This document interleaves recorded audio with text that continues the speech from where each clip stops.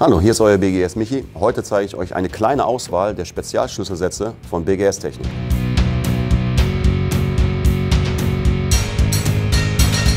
Genau an so schwer zugänglichen Stellen wie dieser, wo sich Rohrleitungssysteme befinden, sind natürlich auch Überwurfmuttern.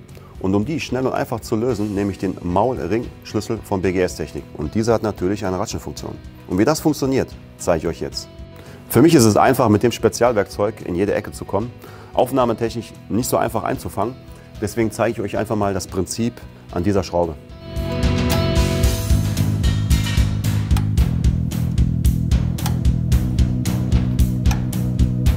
Ein weiteres Produkt von BGS ist der Leitungsratschenschlüssel. Wie der funktioniert, zeige ich euch jetzt.